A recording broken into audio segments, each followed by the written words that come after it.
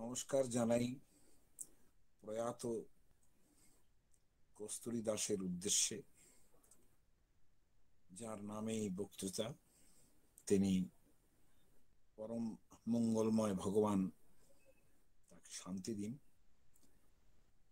আর মুখ্য যারা আজকে আছেন, যারা শুনবেন আমার কথা, যারা সহ্য করবেন আমাকে, ইংরেজিতে বললে বেয়ার সেটুকু তাদেরও নমস্কার জানাচ্ছি।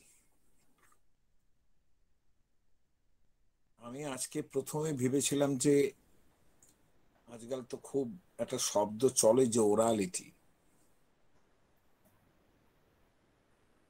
এই মৌখিক সাহিত্য কিংবা মৌখিকতা কীভাবে নেমে এসছে এটা নিয়ে বলব ভেবেছিলাম। তারপরে দেখলাম যে এটা বলতে সময় লাগবে অনেক অন্তত দু আড়াই ঘণ্টার কমে হয় না। তারপরে যে সাবজেক্টটা নিলাম সেটা আমার পরিচিত সেটাই বলব। এবং সেটা আমি বলেওছি বহু জায়গায় কিন্তু তৎসত্ত্বেও বোধ হয় আরও বলার দরকার। বিশেষত আজকে নানা প্ররোচনায় যে ধর্ম সংকটের দিন সেইখানে ধর্ম বলতে ঠিক কি স্যার একটু মার্জনা করবেন একটু জোরে বলবেন স্যার শোনা যাচ্ছে। না বাবা তাহলে কি হবে? এখনও শোনা যাচ্ছে না? না এখন এখন শোনা যাচ্ছে। হ্যাঁ তাহলে আমাকে একটু কাছে এসে বলতে হচ্ছে আর কি। তো তা আমি সেটা সেই বিষয়টা ভেবে নিয়েছি যে মহাভারতের বিষয়ে যেহেতু মহাভারতই আমার একমাত্র তৃণক্ষেত্র যেখানে সবসময় প্রায় ঘাস খাই আমি গরুর মতো। ভাবার চেষ্টা করি যে কতটা পারব, না পারব। সেখান থেকে আজকে ধর্ম, অধর্ম, নীতি, এই যে খুব ভারী ভারী কথাগুলো আছে, যেগুলো মহাভারতে খুব প্রায় জলের মতো ব্যবহৃত হয়েছে এবং সেই সেই ব্যবহারের ধারাটা কেমন? সেটা কতটা ধর্ম, ধর্মকে অ্যাড্রেস করে? কতটা অধর্মকে অ্যাড্রেস করে? কত, কতটা ধর্মাধর্মকে অ্যাড্রেস করে?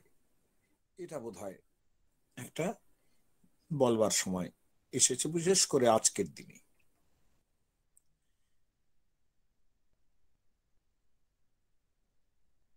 এটা ঘটনা যে আমাদের দেশে ধর্ম বলতে যেটা সাধারণত ভাবা হয়, দুরকম জিনিস ভাবা হয়।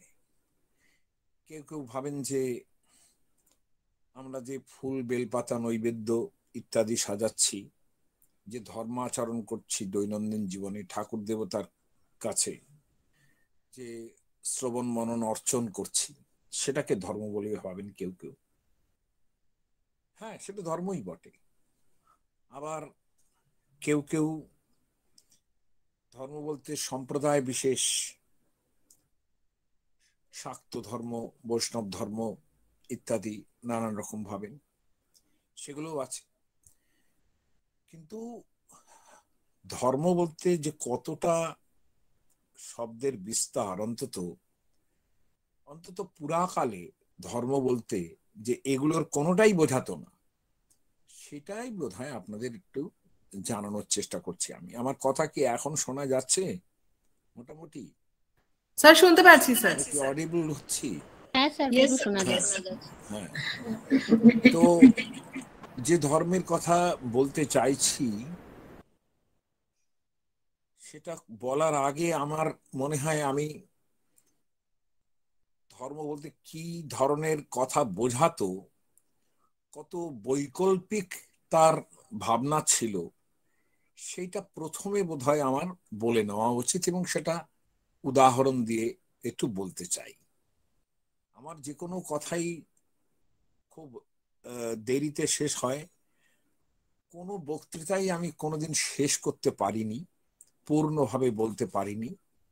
কাজেই আপনাদের সময়ের যে সমস্যা আছে, সেইখানে আমার যেখানে বলবেন, আমি সেখানেই শেষ করব। সেখানেই বলব যে হ্যাঁ আজকে নমস্কার। এই পর্যন্ত। তার আগে আমি যতটুকু পারি যথাসম্ভব সংক্ষেপে বলার চেষ্টা করছি। উদাহরণ দিই দুটো। একটা হচ্ছে যে, আপনাদের মনে থাকবে যে, মহাভারতের মধ্যে সত্যবতী বলে একজন মহিলা আছেন। যিনি মহাভারতকার কৃষ্ণ দৈপায়ন ব্যাসের মা। তার সঙ্গে কন্যা অবস্থায় তার সঙ্গে মিলন হয়েছিল মহামণি পরাশরের সেই পরাশরের কন্যা অবস্থায় পরাশরের ঔরস জাত এবং সত্যবতীর গর্ভজাত পুত্র হচ্ছেন ব্যাস। তো এই যে একটা অদ্ভুত জন্ম পরাশরের মুনির মুনির ঔরসে এবং কন্যা অবস্থায় সত্যবতীর গর্ভে তার মিলনজাত সন্তান। এইখানেই মহাভারত, মহাভারতের যিনি কবি, তার সুর বাধা আছে যে তিনি কতটা উদার হতে পারেন ধর্মের বিষয়ে। সেই, এই যে এই যে এই যে মহাভারতকার, তিনি শুধুমাত্র মহাভারতের কবি নন, মহাভারতের মধ্যে তিনি একজন অংশীদার ক্যারেক্টারও বটে। তিনি মহাভারতের মধ্যে প্রবেশ করছেন, বিভিন্ন জায়গায় অংশ নিচ্ছেন। কাজে এই যে একটা সাংঘাতিক ব্যাপার, যেটা যেটা হোমার, হোমারের ইলিয়া ডডেসি কিংবা ইত্যাদিতে নয়, যেটা ভদ্রলোক কি রিচার্ড কি ভদ্রলোক নামটা মার্টিন বোধহয়, নামটা ভুলে গেছি। তিনি একটা কথা বলেছিলেন যে মহাকাব্যের এই যে জায়গাটা, যেখানে একজন কবি, তিনি একই সঙ্গে একজন পারফর্মারও বটে। অর্থাৎ কিনা যে ভদ্রলোক লিখছেন এই মহাভারত, তিনি তার মধ্যে কিন্তু একজন ক্যারেক্টার যিনি পারফর্ম করছেন বিভিন্ন বিভিন্ন ভূমিকায়। এখন সেই জায়গায় দাঁড়িয়ে তার কথাগুলো কতটা বাস্তবসম্মত হতে পারে? কতটা কতটা সময়োচিত হতে পারে? সেইটা কিন্তু তিনি ধর্মের কথার মধ্যেই বুঝিয়ে দিয়েছেন। এবং আমাদের ধর্ম মহাভারতের ধর্মই ছিল পরবর্তীকালে সেটাকে যারা এই ব্যক্তিগত বিভিন্ন ধর্মের জায়গায় প্রয়োগ করছেন, তারা করুন, তাতে কোনো সমস্যা নেই। কিন্তু ধর্মের যে পার্সপেক্টিভ, যেটা বিভিন্নতার মধ্যে দিয়ে আসছে, বিভিন্নতার মধ্যে ঐক্যের মধ্যে দিয়ে আসছে, সেখানে অধর্মটাও ধর্মের মধ্যে অনেক সময় পড়ে, সেইগুলো কিন্তু খুব মাথায় রাখতে হবে। এটা প্রয়োজন যে আমাদের ধর্মই, আমি অবশ্য এটাকে হিন্দু ধর্ম বলতে রাজি নই, কারণ হিন্দুটা শব্দটা অনেক পরে এসছে, ভারতবর্ষের যে ধর্ম, সেই ধর্মটা এমনই একটা ধর্ম যেখানে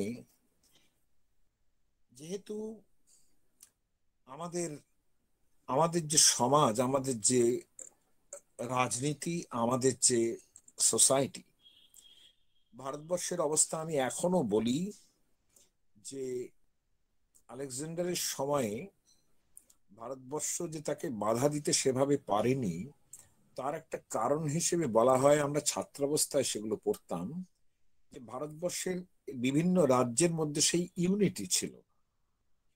আমি বলি সেই ইউনিটি এখনও নেই।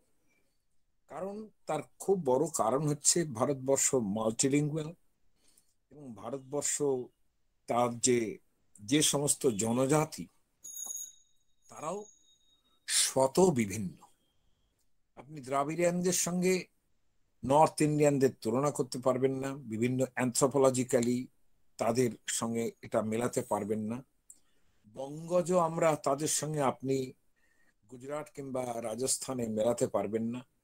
এই সমস্যাগুলো আছে, সেই জায়গায় দাঁড়িয়ে যা আমাদের একত্রিত করেছিল, সেটা হচ্ছে আমাদের ধর্ম, আমাদের সংস্কৃত ভাষা এবং আমাদের যে কৃষ্টি, যে সংস্কৃতি তৈরি হয়েছে ঐক্যের, সেটা কিন্তু তৈরি হয়েছিল এই ধর্মের মাধ্যমেই।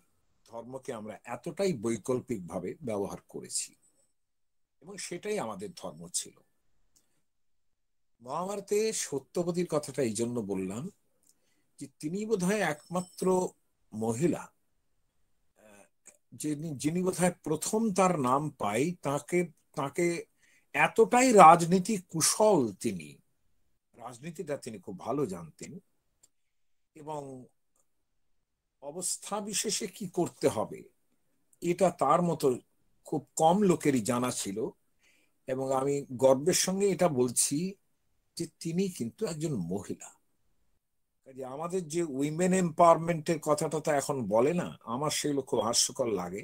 কারণ উইমেন এম্পাওয়ারমেন্ট আমরা বিদেশের কাছ থেকে শিখতে যাব না, যেটা আমরা এখন শেখার চেষ্টা করি। আমরা অনেক এম্পাওয়ার এম্পাওয়ার্ড ছিলাম এবং অনেক স্বাধীন ছিলাম, সেটা সত্যবতীকে দেখলে বোঝা যাবে। এই যে সত্যবতী তাকে তার সঙ্গে পরবর্তীকালে সামাজিকভাবে যার বিবাহ হয়, তিনি দেবব্রত ভীষ্মের পিতা, তার নাম শান্তনু। তিনি হস্তিনাপুরের রাজা। হস্তিনাপুরের রাজার সঙ্গে কিন্তু তার এই যে কন্যা অবস্থার শেষ কন্যা অবস্থায় তিনি পরাশুর মুনির কাছে বর চেয়েছিলেন যে, আমার যেন এরকম না হয়, কতটা কতটা তিনি বাস্তব জ্ঞান সম্পন্ন যে আমাদের এই যে মিলন হচ্ছে সেখানে আপনি আমাকে এইটা এনশিওর করুন যে আমি এর পরে যখন আমার বিবাহ হবে, তখন যেন আমি এই যেরকম কন্যাবস্থায় আছি, এই কন্যাবস্থায় যেন তারা বুঝতে পারেন।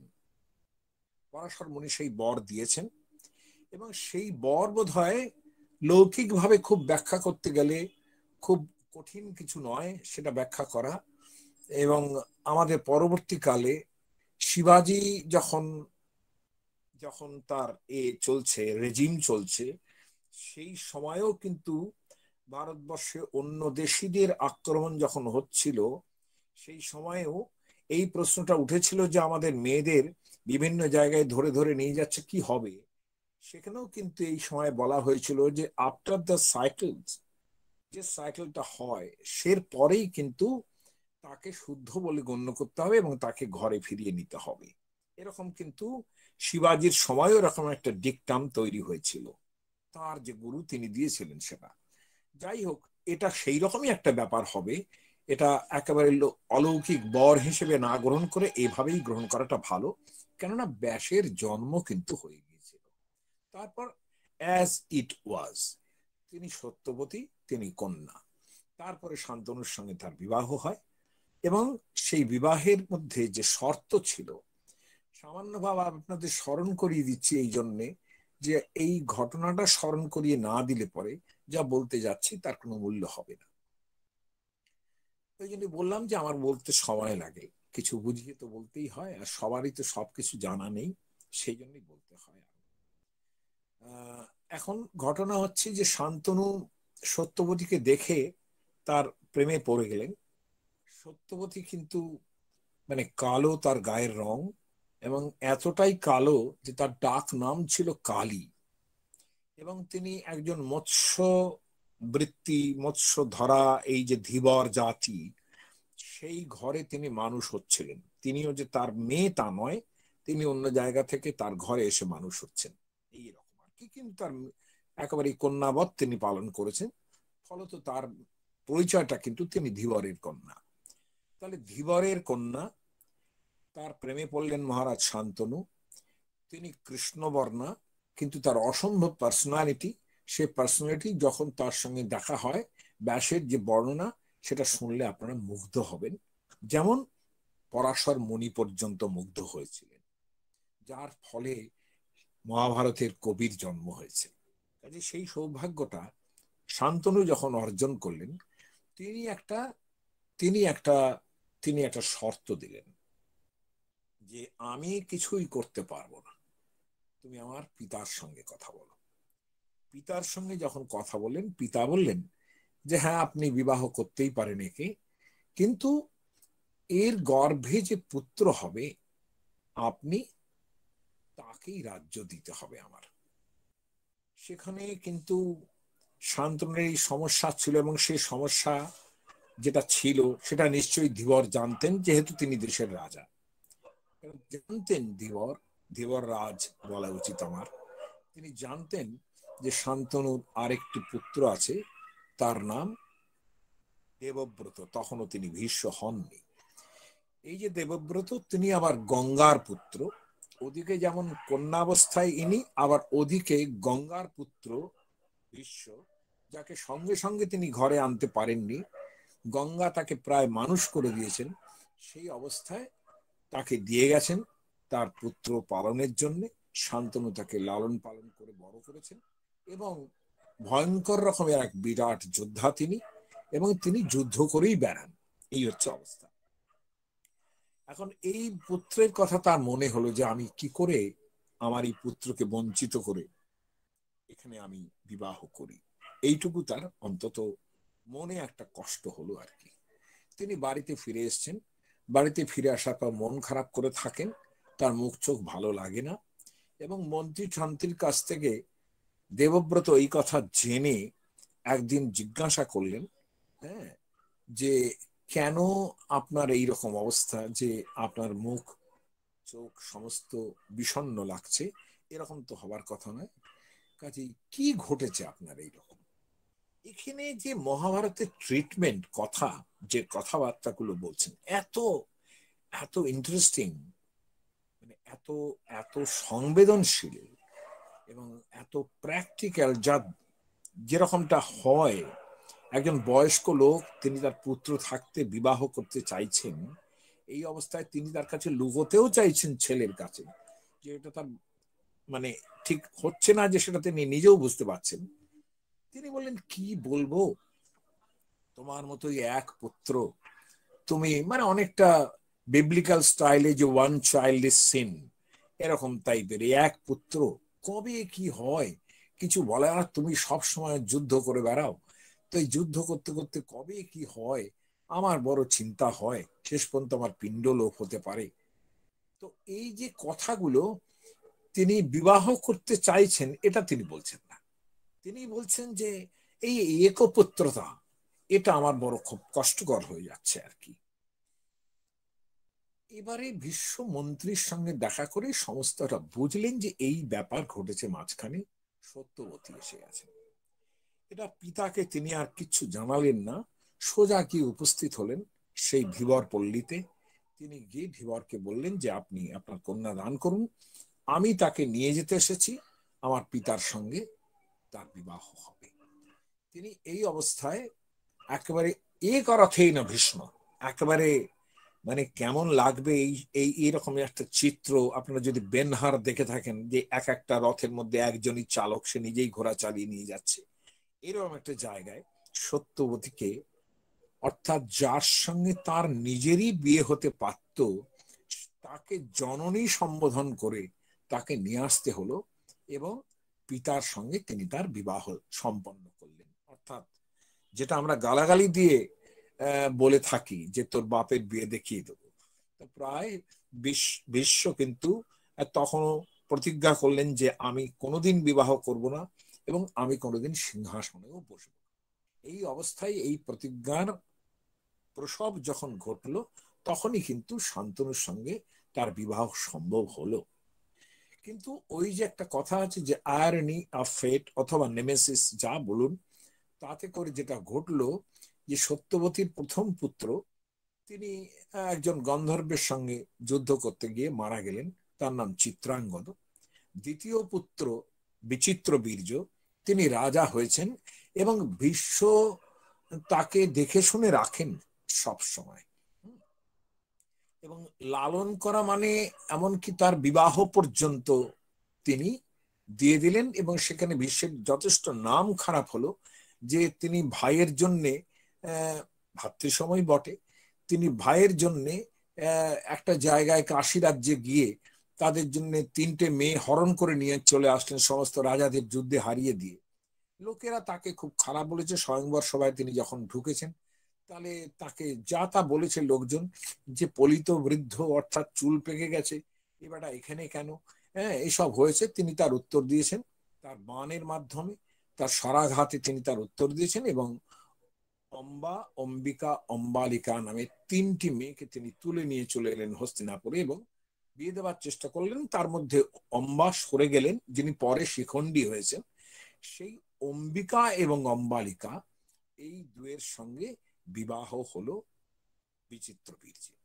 বিচিত্র বীর্য খুব বেশি দিন বাঁচলেন না। তিনিও খুব তাড়াতাড়ি মারা গেলেন। মরণ রোগ তার ধরেছিল, তিনি মারা গেলেন। মারা যাওয়ার পরে যে ক্রাইসিসটা তৈরি হলো, সেই ক্রাইসিসটা হচ্ছে যে ভরত বংশ প্রসিদ্ধ কৌরব বংশে আর কোনো পুত্র সন্তান থাকল না এবং স্বাভাবিকভাবেই তখনকার দিনে উত্তরাধিকার সূত্রে পুত্র যদি না থাকতো রাজ্য পাওয়াটা সম্ভব ছিল না। সেইখানে সত্যবতী বিশ্বের কাছে প্রথম একটা তাকে ডাকলেন এবং ডেকে একটা কথা বলেন এবং আমার রেফারেন্স ধর্মের এইখান থেকে আরম্ভ হচ্ছে। এতটুকু বুঝে নিলাম এই কারণে, না হলে এই রেফারেন্সটা বোঝা সম্ভব নয়। তিনি বললেন যে, দেখো, আমার পুত্রের যে ক্ষেত্র, অর্থাৎ তার যে দুই স্ত্রী ইমে মহিষ্য এই দুই মহিষী আছেন। ভ্রাতুস্তে এবং কাশী রাজসুতে সুবি। তারা কাশী রাজের মানে কন্যা, তুমি তাদের নিয়ে এসেছ। আমি বলব, তার সঙ্গে আমি বলব যে হ্যাঁ এটা এটা এটা আমার মতো যারা যারা দুষ্ট লোক, তাদের তাদের মনে আসে। যে পরের সেন্টেন্সটা আমার মনে হয় যে সত্যবতী সর্ট অফ সিডাকশন তৈরি করছেন ভীষ্মের জন্য। বললেন যে এই যে দুই মহিষী, তারা রূপ ও যৌবন সম্পন্নে। তাদের রূপ আছে, তাদের যৌবন আছে। এবং আর একটা ব্যাপার, পুত্র কামে চ ভারত। তারা পুত্র চায়। তাদের কোলে কোনো ছেলে নেই, সন্তান নেই। অতএব তাদের একটা পুত্র হওয়ার দরকার। কেননা এদের স্বামী মারা গেছে, এরা বাঁচবে কীভাবে? এটা রিয়ালিটি তাহলে এর পরে প্রপোজ করছেন সত্যবতী যে তয়োর উৎপাদয়াপত্যম, তুমি তাদের গর্ভে সন্তানায় কুলস্য না, আমাদের যে কুল প্রসিদ্ধ ভরত বংশ তাতে তার সন্তান যাতে আসে, তুমি এই দুই মহিষীর গর্ভে তুমি পুত্র উৎপাদন করো এবং এটা কোনো অধর্ম নয়। কেন? মন নিয়োগাত। তৎকালীন দিনের নিয়োগ প্রথাটা ছিল, যেখানে গুরুজনের একটা একটা অনুমতি দরকার হতো।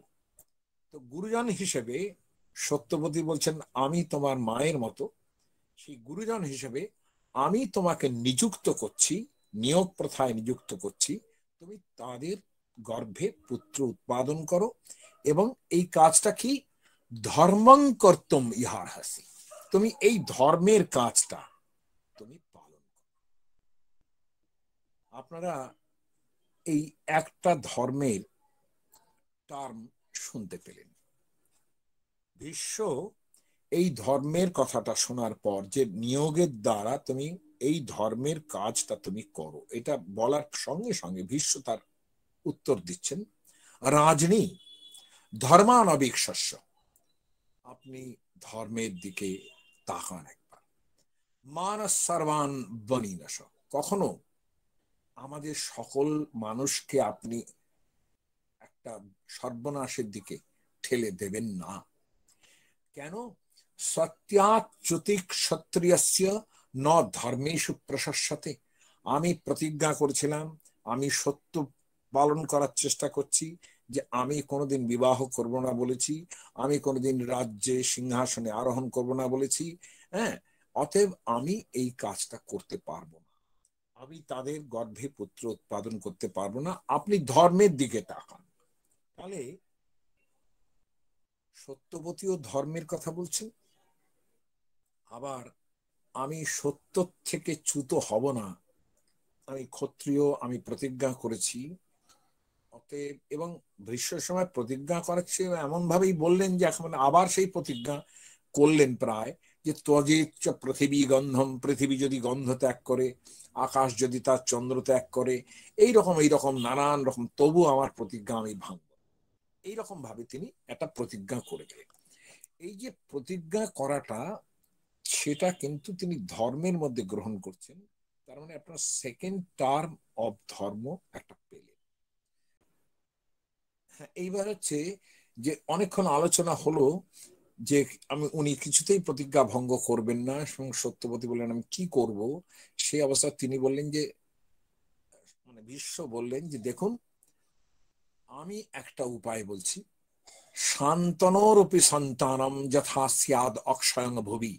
শান্তনুর যিনি সন্তান, যাতে এই পৃথিবীতে তিনি অক্ষয় পদবী অর্থাৎ জীবন লাভ করেন তত্তে ধর্মম প্রবক্ষ্যামি তার মানে it is the third term of dharma প্রথম টার্ম অফ ধর্ম সত্যবতী বলেছেন। সেকেন্ড টার্ম অফ ধর্ম সত্য থেকে চ্যুত হব না, এটা বিশ্ব বলেছেন। থার্ড টার্ম অফ ধর্ম, তিনি বলছেন যে, তত্ত্বে ধর্মং প্রবক্ষ্যামি, শাস্ত্রং রাজ্যনী সনাতনম। এবং এটা সনাতন ধর্ম আচ্ছা রাজ্ঞী আপনি শুনুন সেটা। শ্রুত্বা তৎপ্রতিপদ্যস্য আপনি শুনুন আমার কাছে। তারপরে আপনি আলোচনা করুন প্রাজনই সহ পুরোহিতই, পুরোহিত বর্গের সঙ্গে আলোচনা করুন। এটা বলে রাখি যে তৎকালীন পুরোহিত কিন্তু এই আমাদের এখনকার পুরোহিত ব্রাহ্মণের মতো নন। তারা অনেক, এতটাই পণ্ডিত ছিলেন, এতটাই পণ্ডিত ছিলেন তারা। যে তাদের কথা বিভিন্ন সে পুরোহিত নিয়ে নয় আর একটা বক্তৃতাও পর্যন্ত দেওয়া যেতে পারে। আমি পুরোহিত নিয়ে এ সম্বন্ধে কথাই বলছি না, শুধু বলছি যে তারা ভয়ঙ্কর রকমের শাস্ত্রজ্ঞ পণ্ডিত বলছেন, তাদের সঙ্গে আপনি আলোচনা করুন। এবং আর একটা কথা বলছেন, আপদ ধর্মার্থ কুশলই। আপনি বিপদে পড়লে কি ধর্ম পালন করবেন? সেইগুলো যারা জানেন তাদের সঙ্গে, তার মানে ফোর্থ টার্ম অফ ধর্মের কথাটা যিনি বলছেন, সেটাই কিন্তু থার্ড টার্মের জন্য ব্যবহার হচ্ছে। অর্থাৎ আমরা ক্রাইসিসের মধ্যে আছি। এই অবস্থায় আপদ ধর্মে, অর্থাৎ বিপদে পড়লে পরে কোন ধর্ম পালন করতে হবে, সেটা যারা জানেন তাদের সঙ্গে আলোচনা করে দেখুন যে আমি ঠিক বলছি, কি বলছি? না, আপনি একজন উপযুক্ত পণ্ডিত ব্রাহ্মণ, তাকে ডাকুন। ডাকার পরে তার দ্বারা আপনি এই আপনার দুই মহিষীর গর্ভে পুত্র উৎপাদন করুন। আমার যেটা বক্তব্য হচ্ছে, এখনকার দিনে অনেকে অনেক কথা বলবেন যে এই সব নিয়োগ প্রথার মতো এরকম খারাপ জিনিস ছিল, সব চাপিয়ে দেওয়া হয়েছে, কিন্তু আমি বলছি আপনাদের কেউ কিছু চাপিয়ে দেয়নি। চাপিয়ে দেওয়া না এটা সামাজিক রীতি ছিল তখনকার দিনে। এবং আমি মনে করি যে খুব যে খারাপ রীতি, তাও আমি মনে করি না। এবং নিয়োগ প্রথার যে নিয়ম ছিল, সেটা অত্যন্ত মেকানিক্যাল সেটা বললাম তো সেসব ওই কথা বলতে গেলেই আরও অন্যরকম হয়ে যায় যে যিনি মিলিত হবেন এরকম নিয়োগের ক্ষেত্রে, তার যাতে কোনো কামনা বাসনার ব্যাপার না থাকে, সেটা খুব ভালোভাবে খেয়াল করা হতো আর কি। এরকম ধরনের নিয়োগ প্রথার উদাহরণ শাস্ত্রকাররা যেভাবে দিয়েছেন, বলছেন যে একেবারে সমস্ত গায়ে মানে চপচপে ঘি লাগানো, দই লাগানো লবণ দিয়ে দেওয়া, এই সমস্ত, যাতে কোনো কামনার উদ্রেক না থাকে হ্যাঁ দদনা লবণ মিশ্রে না এরকম সমস্ত কথা বলা হচ্ছে। এইভাবে নিয়োগ প্রথায় মানুষ যেত। যাতে করে একটা মেকানিক্যাল একটা কনজামেশন হয় এবং তারপর একটা সন্তান জন্মগ্রহণ করে। এইরকম একটা ভাবনার মধ্যে দিয়ে যেতে হতো। এই সন্তানের কথা বললেন। আমার কিন্তু বক্তব্য হচ্ছে, এই যে আপনারা একটা শুনলেন যে ধর্মের তিনটে টার্ম আমি বললাম, অর্থাৎ তিনটে উদাহরণ দিলাম, যেখানে প্রত্যেকটাকেই ধর্ম বলে বলা হচ্ছে। এখন এইটা বিচার্য বিষয় যে আমাদের এখানে ধর্ম বলতে ঠিক কি বোঝা যায়। এটা প্রথমে বলি যে আমাদের দেশে, ভারতবর্ষে ধর্ম এবং নীতি, এই দুটো শব্দ চালু আছে। এবং নীতি শব্দটা যেটা, যেটার মধ্যে খানিকটা মরালিটির ব্যাপার আছে, যদিও আমি এখনও সর্বাংশে বলছি যে আমরা যাকে এখন নীতি বলতে এখন যা বুঝি, তখন সেভাবে তা বোঝানো হতো না। এবং নীতি শব্দটা ম্যাক্স ওয়েবার, যিনি যিনি অনেক আলোচনা করেছেন এসব নিয়ে মোরালিটির তিনি সংজ্ঞা নির্ধারণ করেছেন যে it's a strict compartmentalization of private ethics এই হচ্ছে ব্যাপার, এই মরালিটির যে জায়গাটা। তাহলে এই জায়গাটা কিন্তু ভারতবর্ষ নেয়নি। এটা এটা এত প্রাইভেট ব্যাপার নয় এবং এত ছোট ব্যাপারও নয়, যেটাকে মরালিটি বলছি। নীতি বলতে ধর্ম এবং নীতি, আমি কথাটা এই জন্য তুলছি যে ধর্মের মধ্যেই কিন্তু আমাদের নীতি ব্যাপারটা একেবারে প্রবেশ করে গেছে। এটা আমাদের প্রফেসর বিমল কৃষ্ণ মতিলাল যারা আছেন, তারা প্রচুর বইপত্র লিখেছেন এসব নিয়ে। ফিলসফির উপরে বইপত্র করেছেন তারা। যে এপিক্স অ্যান্ড এথিক্স বলে একখানা বই আছে, আপনারা দেখতে পারেন সেসব জায়গায় ইচ্ছে করলে, যে তিনি খুব ভালো পরিষ্কার ভাবে দেখিয়ে দিয়েছেন যে আমাদের এখানে নীতির শব্দের কোনো ইকুইভ্যালেন্ট মরালিটি নয়। বরঞ্চ সেটা ধর্ম। নীতিও তার মধ্যে ধর্মের মধ্যে পড়ে। নীতি বলতে আমাদের দেশে যেটা বোঝানো হয়েছে, দেখুন আমি এই জিনিসটা একটু সবসময় যেহেতু আমরা সংস্কৃতের লোক সেই জন্যে আমরা খুব রুট থেকে শব্দের বিচার করবার চেষ্টা করি। এবং আপনারা আশ্চর্য হয়ে যাবেন শুনবে যে আপনারা কতবার এই পৃথিবীতে নীতি শব্দটা ব্যবহার করেছেন। কিন্তু নীতি শব্দের আশ্চর্যতার রুট থেকে যদি বিচার করেন, দেখবে যে নীতি শব্দটা কি জিনিস, কতটা তার বিস্তার এবং সেই বিস্তারিত ভাবনাতেই মহাভারতে কিন্তু নীতি শব্দের প্রয়োগ হয়েছে। এবং আমাদের প্রাচীন সমস্ত যদি আমরা মানে যদি বলি যে ইন্টারটেক্সচুয়ালিটির যে সমস্ত জায়গা আছে, সেখানেও কিন্তু নীতি শব্দটা প্রচণ্ড ভাবে একেবারে মানে এইভাবেই ব্যবহার করা হয়েছে যে এটা বিস্তার একটা বিশাল ব্যাপার। নীতি শব্দটা আসছে থেকে নীতি শব্দটা আসছে। আমি কি খুব বোর করছি আপনাদের? সেটা আগে বলবেন। স্যার ভীষণ ভালো লাগছে। প্লিজ বলুন। ও থ্যাংক ইউ সেটা। আমি বলছি যে আসলে একটু কথা থেকে কথায় তো গভীরতা চলে আসে সেখানে একটু বলতেই হয় আর কি। আর অনেক অজানা বিষয় তো থাকে মানুষের সেই জন্য বলার চেষ্টা করছি যে নীতি শব্দটা আসছে নি ধাতু থেকে। নি।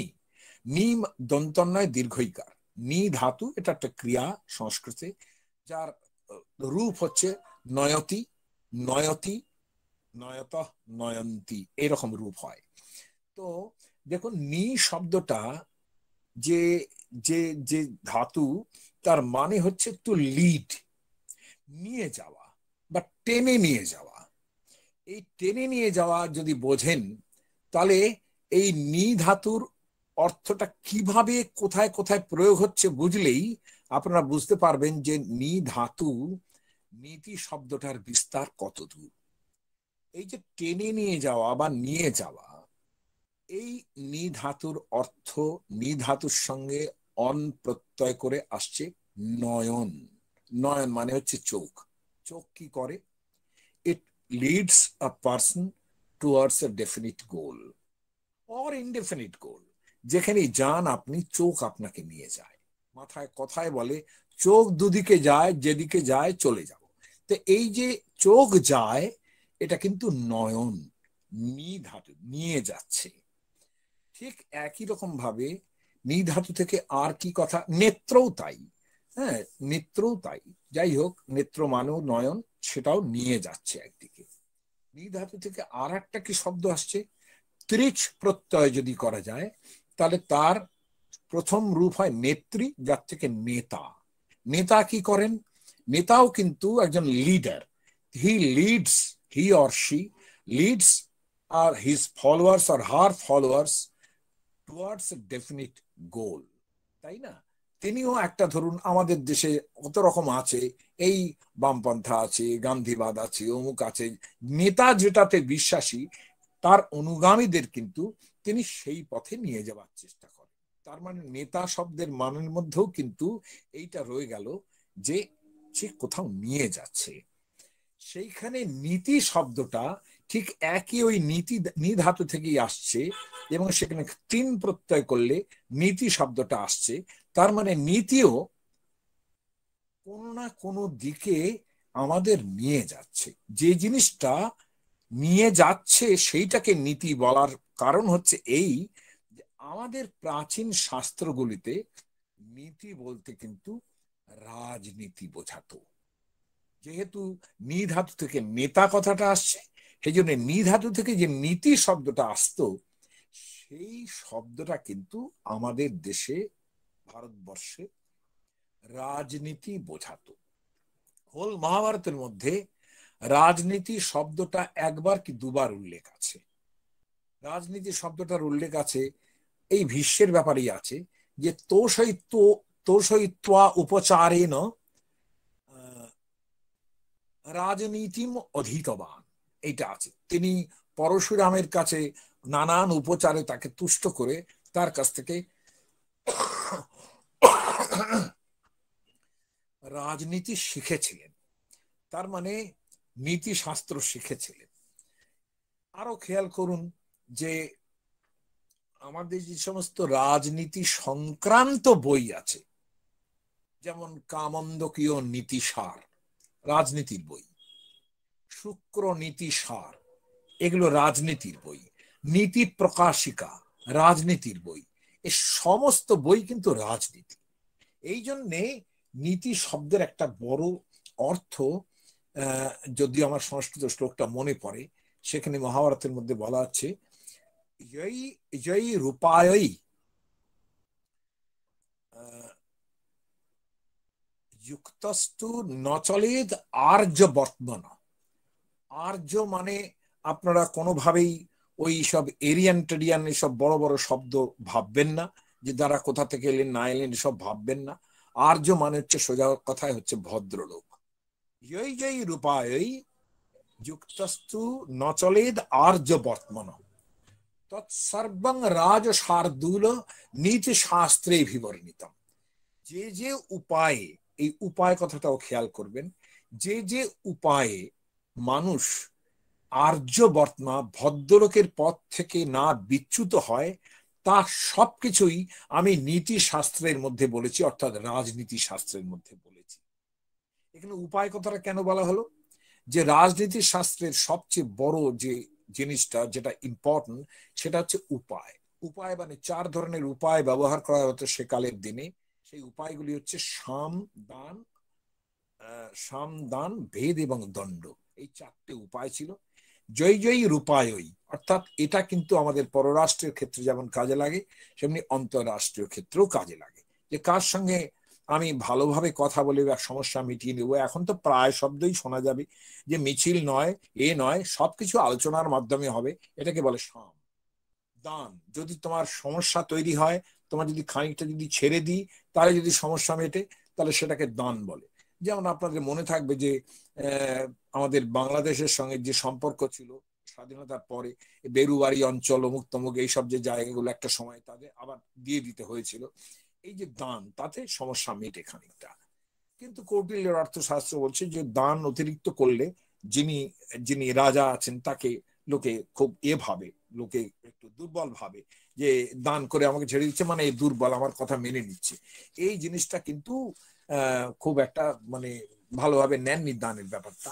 ভেদ ভেদ মানে আপনি রাজার সঙ্গে মন্ত্রীর, একটা ভেদ লাগিয়ে দিচ্ছেন। সেটা রাজনীতিতে গণতন্ত্র হয় কানে কানে কথা বলে এর সম্বন্ধে ওকে লাগিয়ে দিলাম, তার সঙ্গে লাগিয়ে দিলাম, ঝগড়া লেগে গেল, ব্যাস কাজের কাজ হয়ে গেল। এখন এই যে ব্যাপারগুলো, ভেদ এবং দণ্ড আলটিমেটলি পানিশমেন্ট কোয়ার্সে এই যে উপায়, যেই যেই উপায় যে যে উপায়ের দ্বারা আমরা ভদ্রলোকের পথ থেকে বিচ্ছিত না হই, তৎসর্বং রাজ শার্দুল নীতি শাস্ত্রে বিবর্ণিত। নীতি বলতে কিন্তু রাজনীতি বোঝায়। কাজেই আমরা আমরা ভালো কি মন্দ?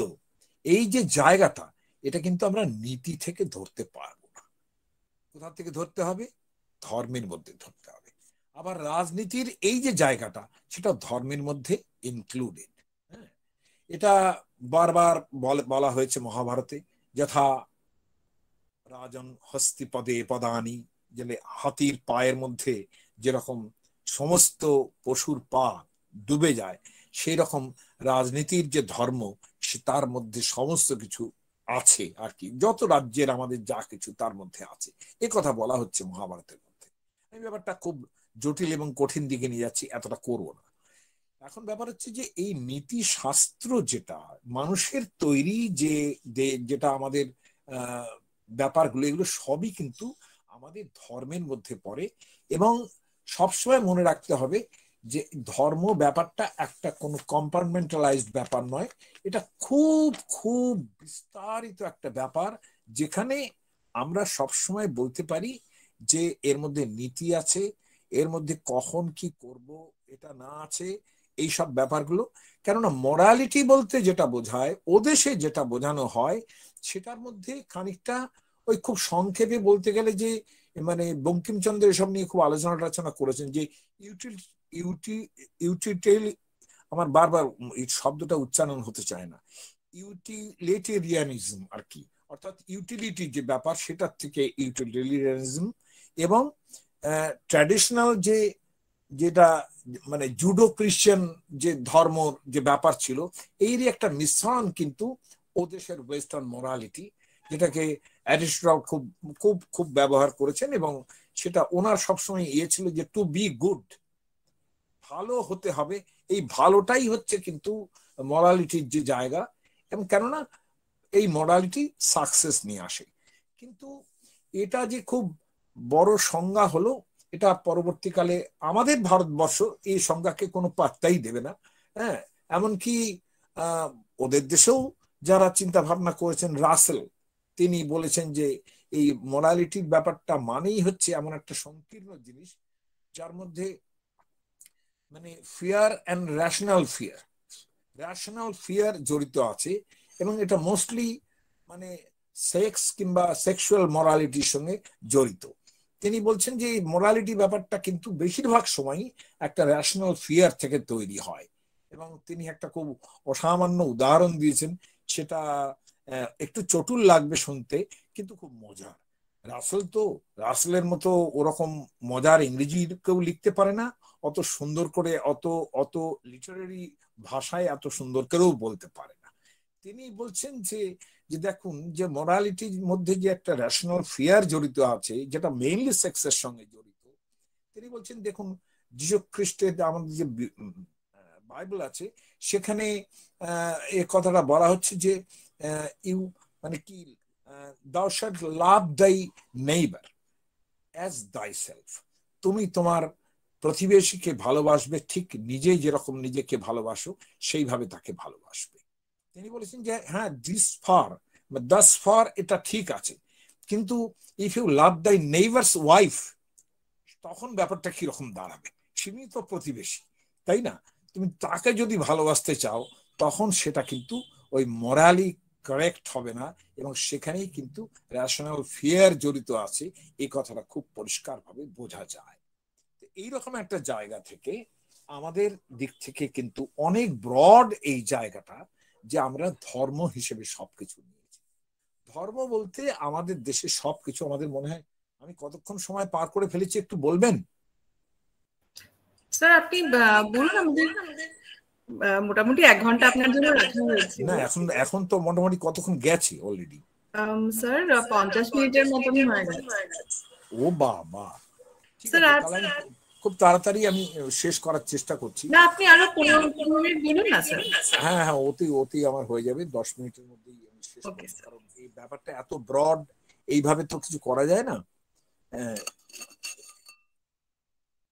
তো এখন যেটা যেটা বলছিলাম যে আমি ধর্ম জিনিসটা আমাদের এখানে যেন মনুসংহিতা থেকে আরম্ভ করে আরও অন্যান্য জায়গায় যেরকম ভাবে আছে সেখানে আবার ধর্মের কতগুলো বিশেষণ তৈরি করেছে। যেমন ধরা যাক, জাতি ধর্ম। ব্রাহ্মণ, ক্ষত্রিয়, বৈশ্য, শুদ্ধ, তাদের এক একটা ধর্ম আছে। ব্রাহ্মণের ধর্ম যজন, যাজন, অধ্যয়ন, অধ্যাপনা ইত্যাদি। ক্ষত্রিয় ধর্ম, এই প্রজা পালন যুদ্ধ করা। বৈশ্যের ধর্ম তিনি ব্যবসায় করবেন, শূদ্রের ধর্ম তিনি লেবার দেবেন। এই যে সমাজ, এটা নিয়ে উপনিষদে পর্যন্ত খুব ব্রডলি আলোচনা করা আছে যেগুলো ধর্ম।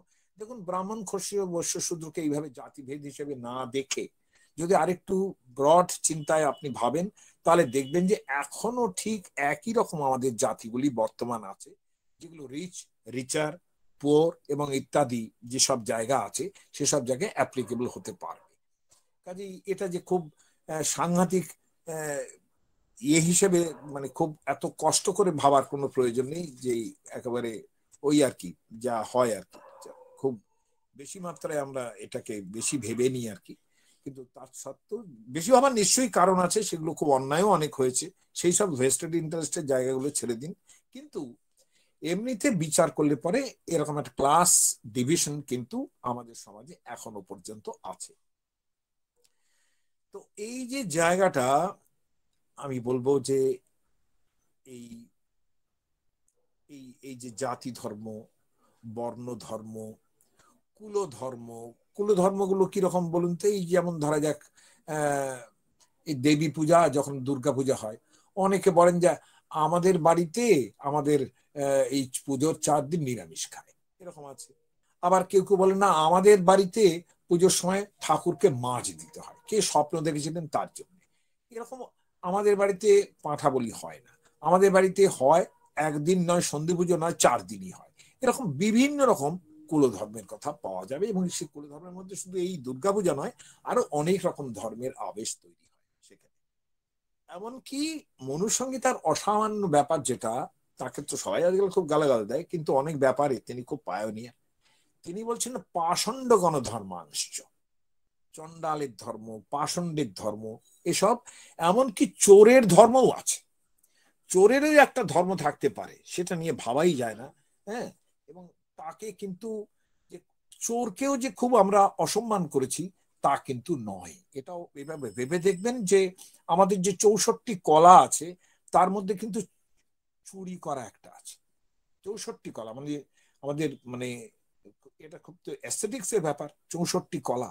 সেই কলার মধ্যে কিন্তু চৌর্যবৃত্তি একজন আছে এবং রাজাকে সেটা শিখতে হতো। কারণ রাজা যদি কোনো জায়গায় গিয়ে কোনো বিপদে পড়েন, এমন কোন একটা নথি তাকে অন্য জায়গা থেকে নিয়ে আসতে হয় তিনি চুরি করতে পারেন। এই চুরি বিদ্যাও তাকে শিখতে হতো। যার জন্যই তো এই কথাটা বলে চুরি বিদ্যা মহাবিদ্যা যদি না পড়ে ধরা।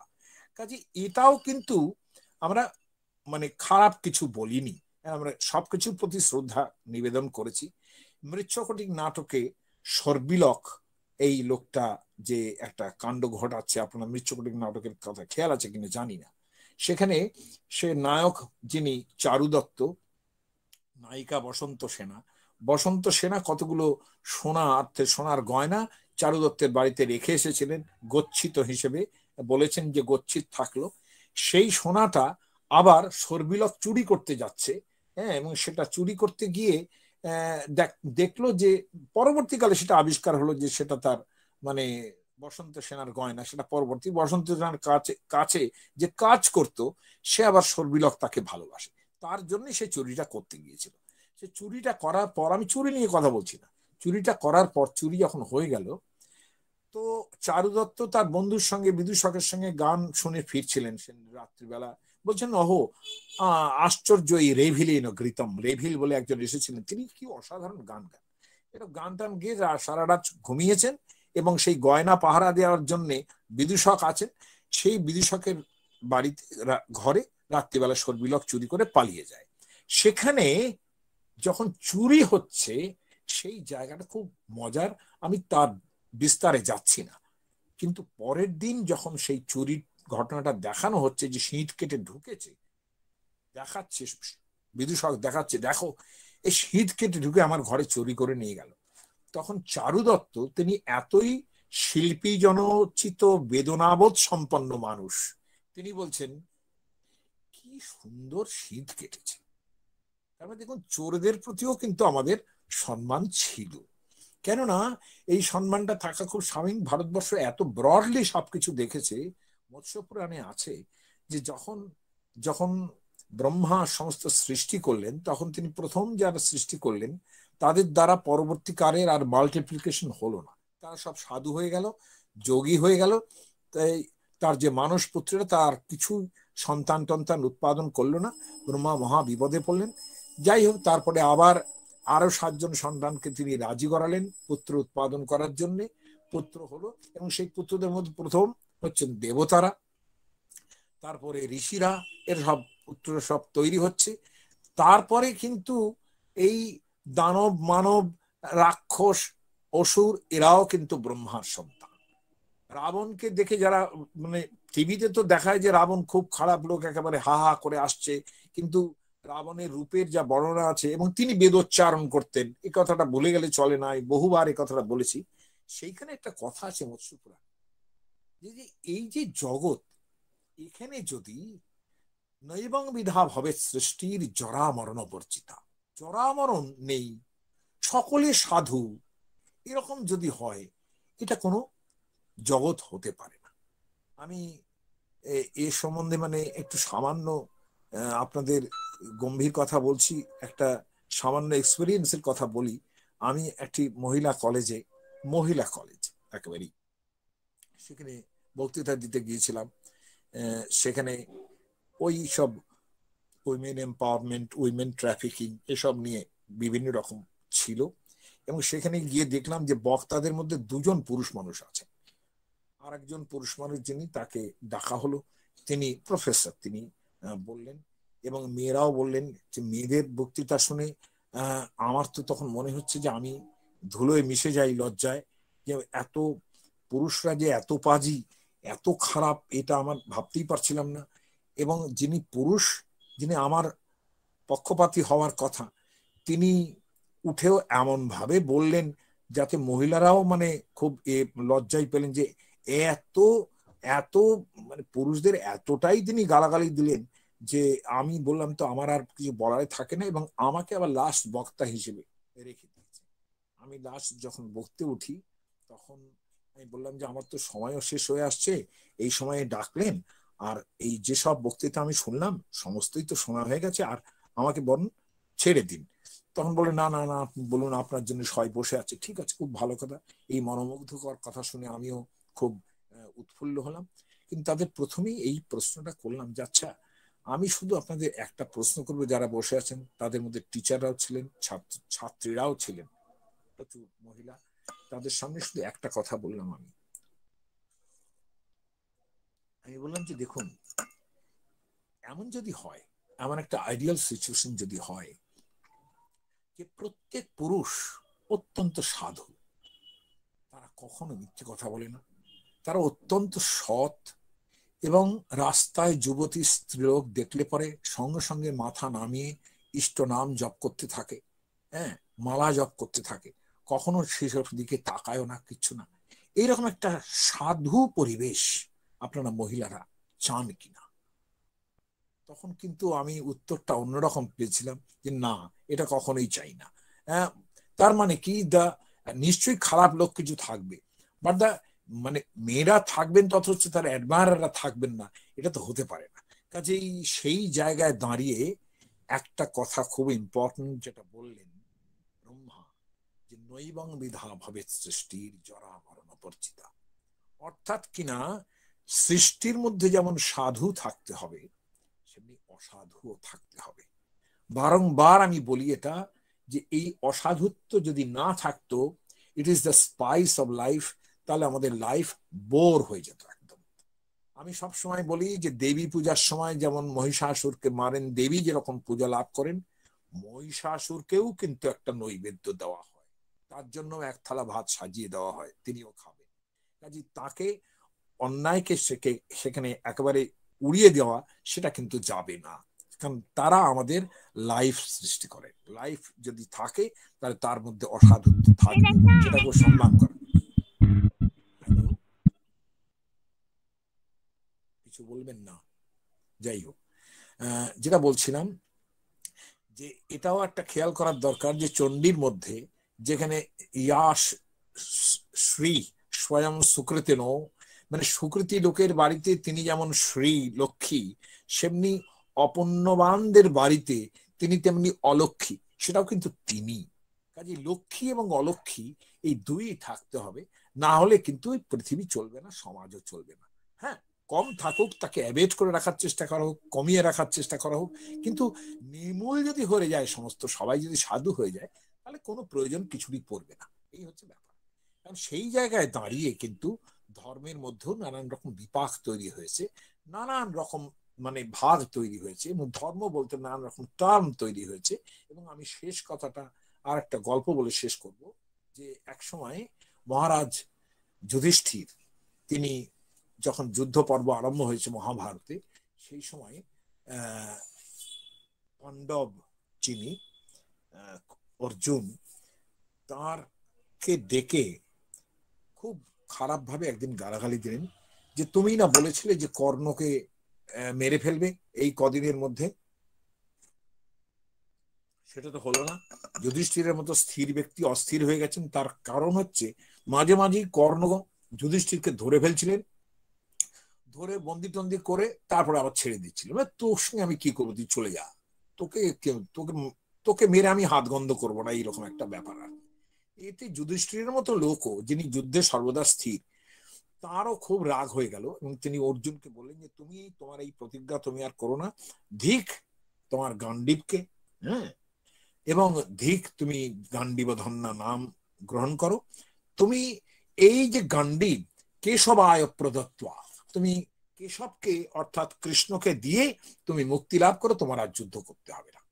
এই কথাটা শুনে এত এত রাগ হলো মানে অর্জুনের যে তিনি শেষ পর্যন্ত মানে মানে অর্জুনের এত রাগ হলো যে তিনি শিবিরে ফিরে এলেন, ফিরে এসেই ঠিক করলেন যে একটা মানে অর্জুন কোষ থেকে মানে তরবারি বার করছেন।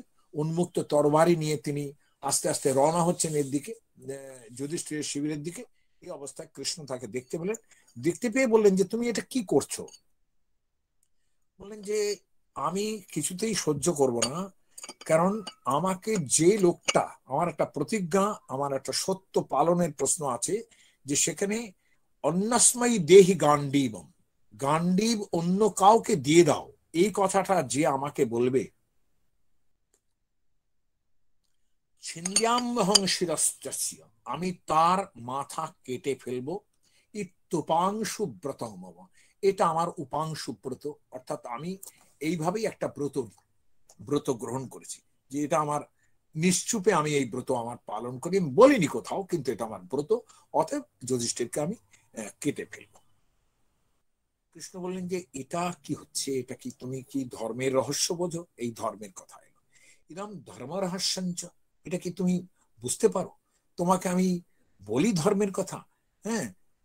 সেটা তোমাকে বিশ্ব পরে আরও বলবেন, যুধিষ্ঠির তোমাকে পরে বলবেন, যেই যুধিষ্ঠির তোমার দাদা, তিনি ধর্মজ্ঞ ব্যক্তি, তাকে তুমি মারতে যাবে, এটা তো হতে পারে না। আর সত্যের যে বচন, তুমি ভালো কথা, তুমি সত্য প্রতিজ্ঞা করেছ, সত্যস্য বচনাং সাধু। হ্যাঁ কিন্তু সত্যের থেকে বড় কিছু নেইও, কিন্তু সত্যটা কি? সেটা ভালো করে বুঝতে হবে তোমাকে। সত্যটা কাকে বলে সেটা তোমাকে বুঝতে হবে। তিনি বলছেন যে, কীভাবে তুমি এটা বলছো? তুমি আমাকে বারণ করার চেষ্টা করছ কেন? বলে, আগে তুমি ব্যাপারগুলো ভালো করে বোঝার চেষ্টা করো, তারপরে তো তুমি মারতে যাবে। তখন একটা শ্লোক কৃষ্ণ উচ্চারণ করলেন তার কাছে, এবং আপনারা আশ্চর্য হবেন শুনলে যে, এই শ্লোকটা মহাভারতে অন্তত দুবার একই কথা দুরকম ভাবে বলা আছে। এই শ্লোকটা দুবার উচ্চারিত হয়েছে। সেই শ্লোকটা প্রথম যখন উচ্চারিত হয়েছিল, সেটা হচ্ছে যখন মানে কৌরব পাণ্ডবদের অনেক পূর্বপুরুষ যিনি ছিলেন যজাতি, যার দুই স্ত্রী ছিলেন, অর্থাৎ দুই স্ত্রী বলব না, প্রথমা স্ত্রী ছিলেন দেবযানী, আপনারা কচ দেবযানী পড়ে থাকবেন রবীন্দ্রনাথে। তো দেবযানীর তো আপনারা বুঝতেই পারেন যে দেবযানীর একটু একটু প্রেমে পড়ার অভ্যেস ছিল এবং কি হলো যে তিনি ব্রাহ্মণের কন্যা, শুক্রাচার্যের কন্যা, দেবগুরু, আর দৈত্যগুরু শুক্রাচার্যের কন্যা, ওদিকে শর্মিষ্ঠা যিনি, তিনি হচ্ছেন দৈত্যরাজ বৃষপর্বার মেয়ে। তো বৃষপর্বার মেয়ে শর্মিষ্ঠা অত্যন্ত সুন্দরী, দেবযানীও তাই। তো দুইজনে স্নান করতে নেমে ছিলেন স্নান করার পরে তো কাপড় চোপড় নদীর পাড়ে ছিল। আসার সময় গুলিয়ে যায়। শর্মিষ্ঠা দেবযানীর কাপড় পরে মানে চলে যান। তাতে শর্মিষ্ঠা দেবযানী অত্যন্ত মানে রুষ্ট হন এবং তিনি প্রচণ্ড গুরুগিরি ফলাতে আরম্ভ করেন। তখন বন্ধুত্ব ছেড়ে তখন প্রচণ্ড গুরুগিরি করা আরম্ভ করেন। শর্মিষ্ঠা তো ছেড়ে দেওয়ার পাত্রী নেন, তিনি যা তা বললেন যে তুমি তোমার পিতা হচ্ছেন আমার বাবার গায়ন, অর্থাৎ আমার স্তুতি, বাবার স্তুতি করে বেড়ায়, ওই জন্য রাজসভাতে আছে। এটা শুনে তার খুব রাগটাগ হলো, প্রায় ঝগড়াঝাটি মারামারির পর্যায়ে চলে গেল। এবং শর্মিষ্ঠা হাজারো দৈত্যদের মেয়ে তো, গায়ে শক্তি বেশি। ব্রাহ্মণ, শুক্রাচার্যের কন্যা দেবযানীকে একটা মজা কুয়োর মধ্যে ফেলে দিয়ে তিনি বাড়ি গেলেন। তারপরে যেভাবে হোক মৃগয়া করতে এসছেন সেখানে জজাতি জজাতি এসে তার চিৎকার শুনলেন। চিৎকার শোনার সঙ্গে সঙ্গে দেবযানী বললেন যে, আপনি আমাকে ওঠান। তা কোনো প্রথমে একটু সংকোচ করছিলেন, কিন্তু দেবযানী নিজে হাত বাড়িয়ে দিলেন। এবার রাজার তার মুকুট টুকুট পড়ে আছেন, তাকে দেখে ভালোই লাগল তার। তিনি বললেন যে, দেখুন, এ সময় দক্ষিণ ও রাজন পান ইস্তামরণ খাঙ্গুলি এই তো দেখুন আমার হাত কত সুন্দর হ্যাঁ? তাম্র অর্থাৎ তামার মতো লালচে লালচে হয়ে আছে। তা আপনি আমাকে এই হাত ধরে ওঠান। হাত ধরে তুললেন। তুলার মাত্র, তারপরে যাই হোক, একটু অভিবাদন, কুশল ইত্যাদি করার পরেই তিনি চলে গেলেন। কারণ দেবজনের রাগ রয়েছে শর্মিষ্ঠার উপরে। আমি খুব সংক্ষেপে কথাটা সারছি। শর্মিষ্ঠার উপরে এত রাগ, শেষ পর্যন্ত শুক্রাচার্যের কাছে নিবেদন করলেন যে আমাকে এইরকম ভাবে অপমান করেছে। শুক্রাচার্য বিশ্ববর্মাকে বললেন, আমি তোমার রাজ্যে থাকব না। তখন বললে, কি করলে থাকবেন? তখন দেবযানীকে জিজ্ঞেস করতে বললেন, শুক্রাচার্য, আমার মেয়ে, ওর মা মারা গেছে, আমি যেভাবে ওকে তুষ্ট হবে অতএব তাই করব। দেবযানী প্রসিদ্ধতা দেবযানীকে তুষ্ট করুন, তাহলে আমি থাকব। দেবযানীকে তুষ্ট করার পর তিনি কি বললেন? বললেন যে, এই শর্মিষ্ঠা, তার সাতশো দাসী নিয়ে আমার দাসী হবে। এই শর্তে আমি রাজি আছি। সম্পর্ক ঠিক করে নেব এবং এবং শুক্রাচার্য থাকবেন। রাজা রাজি হবার আগেই যেহেতু মানে দৈত্যদের মেয়ে, তার গার্ডস অনেক বেশি, তিনি সোজা এসে বললেন, রাজসভায় যে আমি, নিশ্চয়ই আমি দাসী হতে রাজি আছি। রাজ্য রক্ষা পাক, গুরু থাকুন এখানে। তিনি দাসী হলেন এবং ঠিক তার পরপরই আবার রাজাকে, তৎকালীন দিনে এরকম হতো মানে বেশিরভাগ রাজাই মৃগয়া করতে বেরোতেন আর বিয়ে হয়ে যেত, এরকম একটা ঘটনা ঘটতো আর কি। এমনি মানে এটা কিছু বলার, এস এন দাসগুপ্ত এ নিয়ে একটা টিপ্পণী কেটেছেন যখন তিনি শকুন্তলা পড়াতেন যে মৃগয়া মানে কি মেয়েদের মৃগয়া করা? এরকম একটা ব্যাপার। তো সেই যজাতি আবারও এসছেন মৃগয়াতে।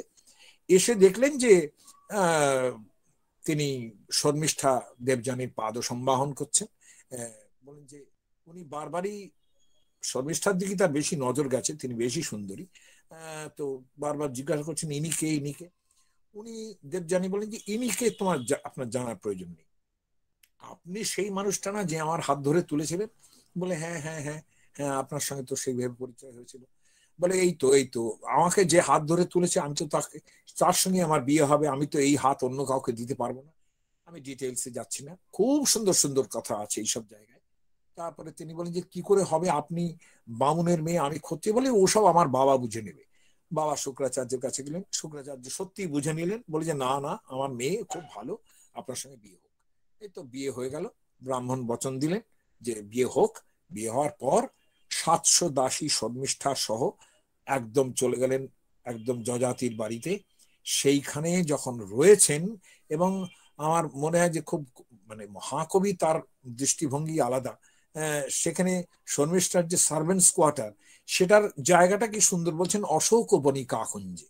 সেখানে অশোক ফুল ফুটে আছে, সমস্ত সুন্দর সুন্দর সেরকম একটা জায়গা সার্ভেন্টস কোয়ার্টার যাই হোক, অনেকদিন থাকা হলো সেখানে। এর মধ্যে যে ঘটনা ঘটলো যে মানে দেবযানীর সন্তান, তিনি যদু, তিনি জন্মগ্রহণ করেছেন। তুর্বসু জন্মগ্রহণ করেছেন। দ্রুজ্ঝু জন্মগ্রহণ করেছেন। মানে তিন ছেলে হয়ে গেছে। এই অবস্থায় শর্মিষ্ঠা, একদিন রাজা, তার কি প্রয়োজন ছিল জানি না কিন্তু রবীন্দ্রনাথ তো লিখেছেন যে অকারণের আনন্দে সাহিত্য গড়িয়া উঠে ফলত তিনি এই সেই অশোক বনিকা কুঞ্জের দিকে যখন যাচ্ছেন, তখন শর্মিষ্ঠা তাকে ধরে ফেললেন। ধরে ফেললে বললেন যে, এটা কীরকম ব্যাপার? আপনা, আমি, আপনি যুক্তি দিলেন যে, আমি আপনার দাসী হয়ে রইলাম, আমি দেবযানীর দাসী মানে আমি আপনারও দাসী। তো আমার আমার যদি মালকিন দেবযানী হন, তাহলে আপনিও আমার মালিক অতএব সেই যে যুক্তি, তাতে করে আমিও একটা পুত্র সন্তান চাই আপনার কাছে। এটা এটা তো আমার যুক্তি। আমি তো, এর আমি তো বিবাহ হবে না আমার। আমি তো এইভাবে আর কোনোদিন থাকতে পারব না। কাজে কিন্তু যে কোনো রমণী তার একটা পুত্র সন্তান চাইবার অধিকার আছে এবং আপনি পুরুষ হিসেবে সেটা, সেই সেই, এটা আমাকে মেটাতে হবে। এটা আপনার ধর্ম। কেন ধর্ম? না, যেহেতু যদি নিয়ম মানেন তাহলে আমার মালিক যদি দেবযানী হন, তাহলে তার মালিক যদি আপনি হন, তাহলে আপনিও আমার মালিক। এর মধ্যে কোনো লজিক্যাল ফেলাসি কিনা আছে কিনা বলতে পারব না, কিন্তু আপাতত লজিকটা ঠিক মনে হচ্ছে। বলে আমি তাহলে এই অবস্থায় এরম যদি হয়ও যে আমরা মিলিত হলাম, এমনিতেই রাজার তার প্রতি আকর্ষণ ছিল। তাহলে আমি কি করব? দেবযানীকে নিয়ে কি করব? তখন শর্মিষ্ঠা বললেন যে, আপনি মিথ্যা কথা বলবেন মানে আমি মিথ্যা বলব সেটা তো ধর্ম হতে পারে না। তখন শর্মিষ্ঠা একটা শ্লোক উচ্চারণ করলেন। যে শ্লোকটা পরে কৃষ্ণের মুখ দিয়ে বেরোবে অর্জুনের কাছে, সেই শ্লোকটা হচ্ছে এইরকম। ন নর্মযুক্ত বচনহীনস্তি বন্ধু বান্ধবদের মধ্যে যদি ঠাট্টা মস্করা যখন চলছে, তখন যদি একটা মিথ্যে কথা বলি, তখন সেটাকে মিথ্যে বলে ধরা যাবে। না নর্মযুক্ত বচনহীনস্তি ন স্ত্রী সুরাজন মেয়েদের কাছে মিথ্যে বললে কোনো দোষ নেই এ কথাটাও সেই মহিলাদের কলেজে বলেছিলাম বলতে সবাই আমাকে হে হে করে উঠেছিলেন যে মহিলাদের কাছে বললে মহিলাদের কাছে যখন তখন মিথ্যা কথা বলা যাবে বললাম দেখুন নিত্য একটা কালো বিশেষ আছে। তো ধরা যাক আমি বলেছিলাম সেখানে, এই কথাটাই বলেছিলাম যে ধরা যাক আমার অনেক পুরাতন বান্ধবী যার সঙ্গে আমার বেশ আকর্ষণ ছিল, তার সঙ্গে আমার কুড়ি বছর পরে দেখা হলো। দেখা হওয়ার পর তার কথা আমার স্ত্রী জানেন যে এরকম একটা ঘটনা ছিল। ঠিক আছে, দেখা হওয়ার পর তারপরে আবার বছর কুড়ি পরে প্রায় জীবনানন্দের মতো বললাম, চলো কফি হাউসে যাই। তখন কফি হাউসে গিয়ে কফি খেলাম করলাম, আড্ডা মারলাম। অনেক রাত হয়ে গেল, বাড়ি ফিরে বললাম কি করব আর যা অবস্থা বাস টাসের যা অবস্থা, এভাবে আর চলাফেরা করা যাবে না, কাল থেকে অনেক আগে বেরোতে হবে। তাহলে এই যে মিথ্যাটা, এটা তো নিজেকে বাঁচানোর জন্য করতেই হয় হ্যাঁ? তো আমি সেইটা বললাম যে মেয়েদের কাছে এই রকম মিথ্যা বলা যায়। তাতে মেয়েরা আমাকে বলেছিলেন, এরকম মিথ্যা কি আমরাও বলতে পারি? মানে পুরুষদের কাছে বলি হ্যাঁ নিশ্চয়ই এটা ভাইস ভার্সাই হবে। কাজে এটা যদি না হয়, তাহলে আর কি করে সেটা ধর্ম হয়? কারণ এটা দুরকমই হওয়া উচিত। হ্যাঁ না স্ত্রী সুরাজন, ন বিবাহ কাল বলে বিয়ের সময় প্রচুর মিথ্যা কথা বলে। হ্যাঁ একদম মেয়ে যারা দেখতে আসেন, তারা বলেন হ্যাঁ আরে মেয়ে একটু হ্যাঁ ঠিক আছে ফর্সা না একটুখানি, একটু শ্যামা শ্যামা। কিন্তু হ্যাঁ উজ্জ্বল শ্যামবর্ণ ইত্যাদি শব্দ ব্যবহৃত হয়। আবার পুরুষদের ক্ষেত্রে এমন এমন সব বলা হয়, তারা কি না কি সব বলা হয়। আমার এক বৌদি তো অদ্ভুত একটা কথা বলেছিলেন, যে বিয়ের সময় তিনি বাঙাল ছিলেন। যে বিয়ের সময় তো বিয়ার আগে আমি বারবার হুনসি মানে শুনেছি যে কত হুনসি গ্যাজট গ্যাজট। গ্যাজট মানে হচ্ছে গ্র্যাজুয়েট। এখন দেখি তুমি গ্যাজটও না, কিছুই না। তবে এই যে মিথ্যা কথাটা বলেছিল বিয়ের সময়, তাহলে না স্ত্রী সুরাজন ন বিবাহ কালে, এমনিতেই কথায় বলে লাখ টাকার কমে, লাখ কথার কমে বিয়ে হয় না। সে কথার মধ্যে প্রচুর মিথ্যে থাকতে পারে। তো এইটা এইটা আর কি প্রাণাত্ময়ে আমার যদি জীবন সমস্যা হয়, তখন মিথ্যে কথা বলা যায় এবং ধনাপহারে সমস্ত ধন লুট হয়ে যাচ্ছে। সে অবস্থায় যদি মিথ্যা বললে ধন ফিরে আসে। এই যে কটা জায়গা, এখানে পঞ্চানৃতান অপাতকান এই পাঁচ রকমের মিথ্যে অপাতক, কোনো তার, তাতে কোনো দোষ হয় না। যখন অর্জুন বলছেন যে আমি এই রকম মারতে যাচ্ছি তখন তিনি বললেন যে, দেখো, তুমি এরকম করো না। অর্জুনকে কৃষ্ণ বললেন, ঠিক একই কথা বললেন যে প্রাণাত্ম এই বিবাহেছ বক্তব্য অনিতং ভাবে যদি প্রাণ যায় তাহলে প্রাণ যদি বাঁচে তাহলে মিথ্যা কথা বলতে পারো। বিবাহের সময় মিথ্যা কথা বলতে পারো। সমস্ত ধন অপহরণ হচ্ছে, সেখানে মিথ্যা কথা বলছো। এগুলো কোনো মিথ্যে হয় না এগুলো। কাজে তোমাকে এটা বলেছে, তুমি তুমি একটা প্রতিজ্ঞা করেছিলে, কিন্তু যুধিষ্ঠিরের প্রাণ যদি বাঁচে তাতে তুমি মিথ্যা কথা বললে, বলবে, তার জন্য কোনো সমস্যা নেই। বলছে, তাহলে আমি কি করব? এখন আমার তো এত রাগ হয়ে রয়েছে। বলে, তুমি একটা কাজ করো, তোমার প্রতিজ্ঞা থাকবে। কীভাবে থাকবে? এই যে আমি বলছি, ধর্মের পথ পরিবর্তন কীভাবে হয়? এটা কৃষ্ণ বলছেন, আরও খুব ভালোভাবে বলতে পারতাম যে, তিনি বলছেন যে, অনেক সময় ধর্মকে ধর্মের মতো মনে হয়। অনেক সময় ধর্মকে অধর্মের মতো মনে হয়। অনেক সময় অধর্মকে ধর্মের মতো মনে হয়। এগুলো আমি বিশদ ব্যাখ্যায় যাচ্ছি না। কিন্তু মহাভারতের যে এত বৈষদ্য, এত বিচার বিশালতা আছে সেখানে, যে সেখানে এইগুলো প্রমাণ করা যায় যে সর্বত্রই যে আপনি যেটা সত্য কথা বলছেন সেটাই যে ভালো বলছেন তা তো নয়। যদি প্রাণ বাঁচে, তাহলে মিথ্যে কথা বলতে হবে। তখন যুধিষ্ঠিরকে অর্জুনকে কৃষ্ণ বলেন যে, দেখুন, আপনি একটা কাজ করুন, তুমি একটা কাজ করো। তুমি যুধিষ্ঠিরের সামনে গিয়ে প্রচণ্ড তাকে গালাগাল দাও। প্রচণ্ড ভাবে গালাগাল দাও। যা তা বলে গালাগাল দাও। সেই গালাগালটা কিন্তু একজন ছোট ভাই হয়ে তুমি দাদাকে যখন গালাগাল দিচ্ছ, সেটা প্রায় মৃত্যুর সমান। কাজেই এইরকম কাজটা করলে পরে কিন্তু তোমার ওই প্রতিজ্ঞা রাখাটা হয়ে গেল। তো অর্জুন সেটাই করলেন, গিয়ে খুব গালাগাল টালাগাল দিলেন, দেওয়ার পরে তারপরে বললেন যে, এগুলো আমি এইরকম আমার প্রতিজ্ঞা রক্ষার জন্য আমি ভুল করে, আমি এইগুলো সব বলেছি তোমাকে, এগুলো সব মিথ্যে কথা। হ্যাঁ এগুলো শোন না, তোমার সঙ্গে আমার সম্পর্ক ঠিক আছে। এই যে জায়গাটা, সেই জায়গা থেকেই কিন্তু আমাদের ধর্মের নানান রকম জায়গা আসছে। যেখানে বিশ্বামিত্র মুনি তার আপদ ধর্মের সময় ক্ষুধা নিবৃত্তির জন্য কুকুরের মাংস খাচ্ছে জন্নালিক গৃহ থেকে। এরকম ঘটনা ঘটছে। হ্যাঁ এবং সম্পূর্ণ যুদ্ধের মধ্যে যেখানে যেখানে অন্যায় হচ্ছে, তার জাস্টিফিকেশন আসছে এই সব জায়গা থেকে। ধর্মের প্রচুর রকমের বিভাগ আমাদের আছে, প্রচুর রকমের টার্ম আমাদের আছে। কাজে ধর্মকে এত বিস্তারিত অর্থে শেষ পর্যন্ত দেখা গেছে যে শেষ পর্যন্ত যাকে আমরা অধর্ম ভাবছি, সেটাকেও কখনো কখনো ধর্ম বলে গণ্য করতে হয়েছে। আমি এটুকু বলছি, এ থেকে বিস্তারিত বলতে পারলে খুব ভালো হতো, কিন্তু সেটা সময় নেই। সকলকে ধন্যবাদ। আমাকে বেয়ার করছে